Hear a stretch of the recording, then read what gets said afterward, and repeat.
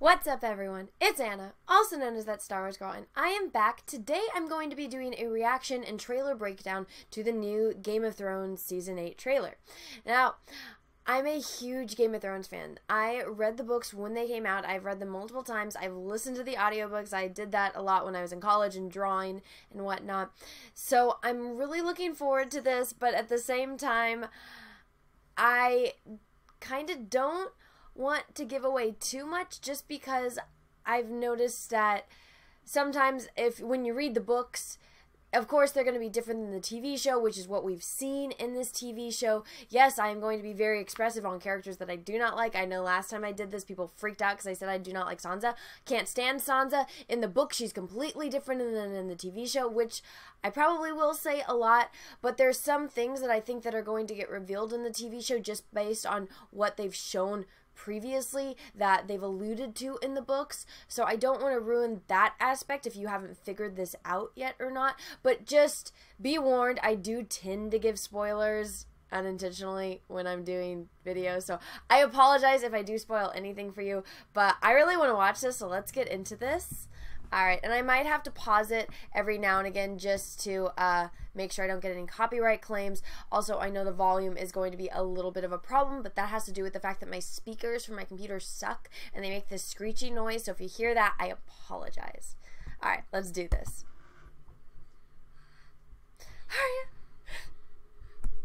Oh my god, what's going on?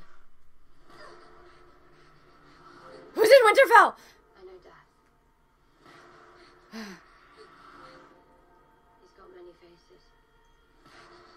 Okay. I look forward to seeing this one. Ah! So close!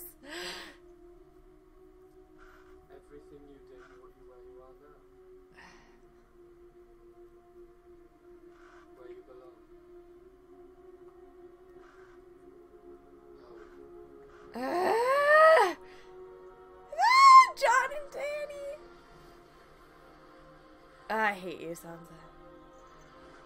They're coming. Our enemy doesn't tire. Oh, she loves him. Doesn't stop. Doesn't feel.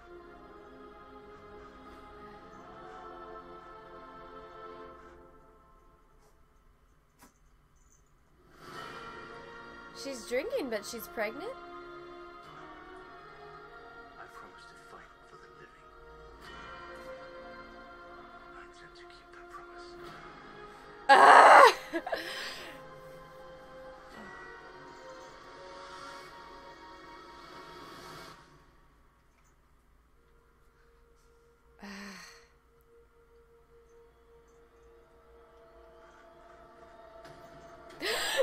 Oh my god, oh my god! No! Oh my god, no! I don't want it to end. Oh my god. Okay, we're gonna go back through this because I, I I need to go look at certain scenes. Okay, I did like this little bit with Sansa. I, I know people get annoyed when I talk too much during trailers, so that's why I decided I'm gonna, you know, kind of. You'll see my initial reaction, but I'll go back through and break down so I can talk more. But look, just look at that face. Could you imagine just being in this world where dragons used to exist and they didn't? Now all of a sudden they're back, and you're finally seeing them. I mean Come on! I'd be freaking out if I was on Winterfell and all of a sudden there's dragons. Oh, that's so cool. Okay, so this th this is cool. This like wow, like just that complete wonder on her face. Like I I do think Sophie is a great actress. I really just don't like the character of Sansa. It's nothing against Sophie. I just don't like Sansa. But uh, like, just look at this shot. I mean, if you've taken a film class or like any kind of art class, it's all about composition. So it's like, even though Sansa is slightly off center, and that's because I'm in the middle of a, a screen shot. So it's like, just look, look at these lines, and hopefully you guys can see this with my mouth, like, in my mouse, my mouth. Like, it's, she's she's on this part of the castle. She's in the foreground. Dragons coming. She's looking on into wonder. So it's like it's not a bad thing that these dragons are here. It's good, which we all know. But I mean, just visual storytelling. Ugh, that's one of the best things about Game of Thrones is every single shot is so perfectly thought out. Uh, and then Dany and Jon, she's not on the dragon. They're walking together. That's a cute. All right, or Cersei. Oh, Cersei, I her costume. Oh my gosh, I don't I probably is more ahead, but this looks cool. Not gonna lie, everything in this looks so cool. I don't know who this kid is. It made me a Rickon. Ah, but look at her costume design. I like how even now, uh, if you go and you can watch uh, people that actually do complete costume breakdowns and how they talk about the way that Dany's costume changes through each season, even the way Cersei's costume, and people are commenting, oh, why isn't Cersei's hair like grown out? Maybe now she's just keeping it short. She's not letting it grow out because, you know, she left that, you know, side behind her. Now she's doing this. She's, you know, being the queen and she's finally getting doing everything that she could have gotten if she was born a boy. So i think she's more embracing that like i'm edgy type of thing. And then they've even brought in uh, people that do really good breakdowns of game of thrones. Uh, you, you can see the maids. Even the maids they're now having pixie cuts because they're you know trying to you know, do what's in style. The queen has a pixie cut. Let's all the maids have pixie cut. And you can go back if you actually watch uh, some of the seasons. It's really subtle the way they do things with costumes. So she her biggest threat right now is Daenerys Targaryen. We even know that based on what they talked about in that prophecy that she was told by the witch. Oh, you know, you're going to have, you know, three children, all this, yada, yada. But there's going to be a younger, more beautiful queen that's going to come and take you know your place. So now look at the way that she has like these shoulder pads. It's kind of like scales even uh, this little part of her dress. It looks like now she's it, in a way this kind of looks like uh when people go hunting and they have you know the pelts up it kind of looks like that. So maybe she's even trying to you know emulate a lion. But this kind of reminds me of how now she's up against Daenerys. And so she's got to have her armor on. And that's very Cersei. She always has you know that extra trick up her sleeve which gets her out of trouble because she's a very intelligent woman. She's a very dangerous enemy to have. And now you know, she's made everyone her enemy. Even Jaime isn't with her anymore. So this is going to be a very, very dangerous season because Cersei has absolutely nothing to lose. She has a baby, but and we saw how she wasn't drinking wine. Uh, and that's one of the things that made Tyrion go, "Oh, you're pregnant." But we see her later in this trailer drinking, so maybe the pregnancy is fake. But we all we know is based on the prophecy that was told to Cersei, she is only having three children. She's not having another one. All right, we'll go back through this. All right, we're in the crypt. Okay, them and kissing. I was actually very happy because I was rooting for them. Jaime, I like Jaime a lot. I like his character arc. Once you go back and watch the first season, it's like, oh, I hate that guy. But you just just how humble he got after he lost his hand and he has a completely different perspective. I really like that they've done a good job of showing his character arc, so I'm excited to see. Let's like Okay, see she's drinking again. She's, and she she kind of looked like she something happened. She's got that very Cersei face. The dragons! The dragons! Look at Arya's. I feel like that Arya's seeing the dragon. Arya's Jean Jaime. I promised to fight. Okay, so that's for the next scene. But that's my face. Like if I saw a dragon, I'd probably be freaking out though. But maybe I'd just be in complete shock. Like, oh, there's dragons. But look at that. Look at.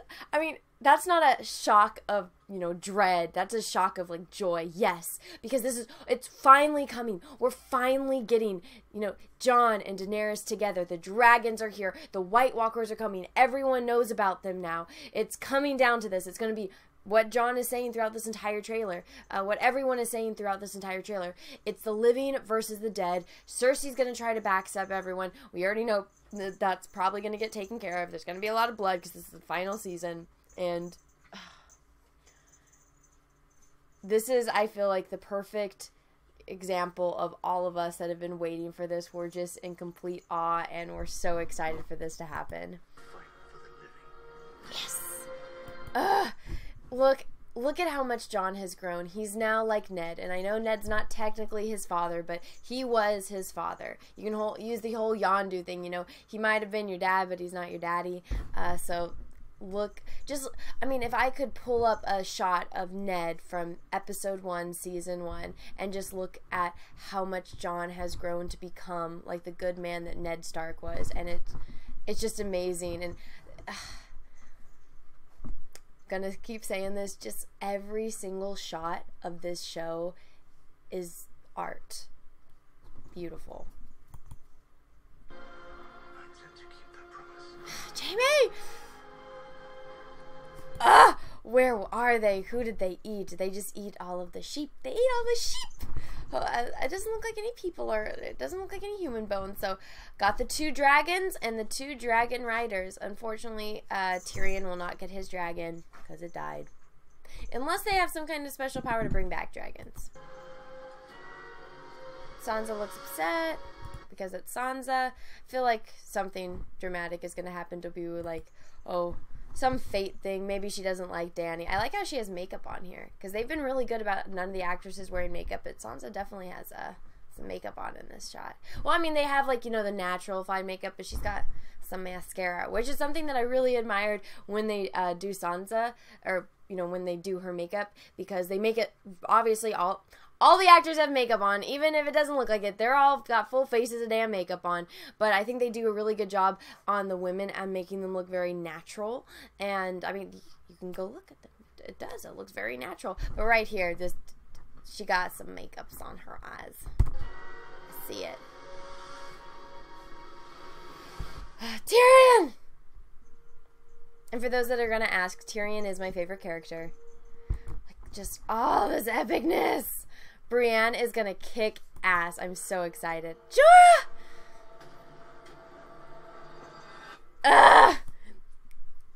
I am so, so excited. This is going to be so epic. I cannot wait to watch this. And I've talked to other channels. I did not know that Jessie from Mindless Entertainment was as into Game of Thrones as she was. We did a live stream last night where we talked about it. Gary from Nerdrotic has invited me to do streams. Uh, he's doing streams after every episode. He invited me to come on. I will be there every time that I can make it unless I have something going on with uh, my family. But I am so excited for Game of Thrones. This is going to be epic. I am so in pain that this is going to be the last season because I, I feel like they should have milked it out. Like, they didn't even touch on Lady Stoneheart. They don't even go into how all of the, you know, Stark children are wargs. They can all go into their wolves. It's not just Bran, it's every single one of them. All the dramatic stuff that happens between Arya and Nymeria and her having her wolf dreams. Even Jon has his wolf dreams where he goes into ghosts. Like, they could have done so much. Apparently, in the books there's a lot of other stuff that happened, but they're not going to go with it, which I'm like, if you wanted to make the monies and people like Game of Thrones, you could have milked it, but you didn't. But I'm excited to see what they do. Let me know what you think in the comments. Uh, if you like this video, go ahead and give it a thumbs up. If you didn't, that's okay too. And if you haven't already, please subscribe to my channel. Uh, That'd be awesome. Make sure you click that little bell. That way you get notifications when I do live streams and when I put out other videos because people tend to like them. My puppy, uh, Tulip is usually in my live streams with me, and people uh, really like to see her. She's a little, uh, she's a little excited. She's happy right now. So everyone, I hope you have a great rest of your day, and may the force be with you because we are really, really, really going to need it. Bye. Say bye, Tulip. Bye, Tulip. Hey everyone, after being asked for months now, I finally got a P.O. box. So if you want to send me some mail, go ahead and send it to Anna, that Star Wars girl, or TSWG for short, at P.O. Box number 28171, Santa Ana, California, 927998171. Thank you. Have a great day, guys.